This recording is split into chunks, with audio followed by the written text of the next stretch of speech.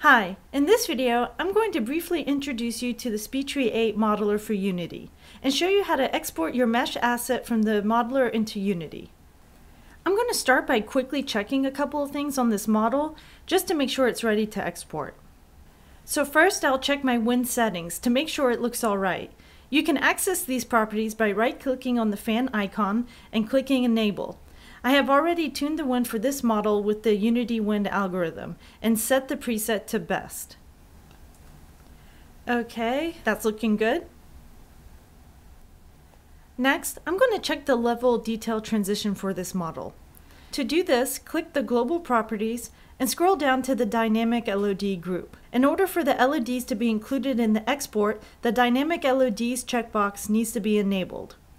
I'll check my LOD transition by scrubbing up and down the LOD bar. As you can see on the upper left-hand corner of the viewport, it displays the triangle count of my model at various LOD levels. Now if you want to alter the amount of leaves, fronds, branches, or decorations that stay or are removed on the model, you can just hand edit these blue curves over here. The right hand point of this curve sets the percentage of the geometry that remains as the LOD level changes. Now that is all done, I can export my model. So go to File and select Export to Unity 3D.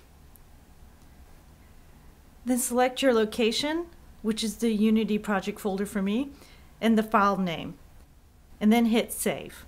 By default, the settings are automatically set up to correctly import into Unity, but there are a variety of options that allows you to customize the exportation of your SpeedTree asset. I want to make sure I have LODs and billboards, and that all my non-wrapping materials are atlased. Once my preferences are set, I just hit OK. You'll see a progress bar appear, letting you know how far along the export process is. I'm going to open the folder I saved my file in, and here's my exported model, with the ST file format and its textures, atlases, and billboards. To save time, I already have Unity open. You'll notice that because I saved in my project's asset folder, my exported model shall automatically import and load in the project window. A pop-up window should appear saying that a texture is being used as a normal map and ask you if you want to mark it as a normal map, which I do, so I click Fix Now. For demoing purposes, I'm just going to drag and drop this SpeedTree model into a blank Unity scene. And here it is. The last thing I'm going to show you is how to set up a tree to be one draw call, which is best to use as background and filler trees since there will be a slight loss of resolution. So the first thing you need to do is go to the UV mapping group and change your UV mapping style to all your trunk and branches to U locked V unrestricted. You want to make sure it's set to tile once or twice only. Next, you need to change the model's wind preset to fastest.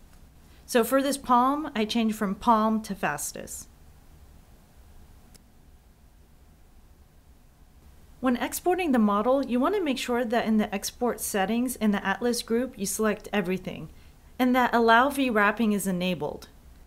Then click OK.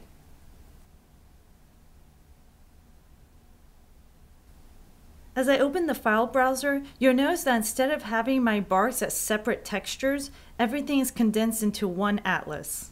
And there's my bark in the atlas. I'm going to quickly import my tree into Unity just to show you how it looks.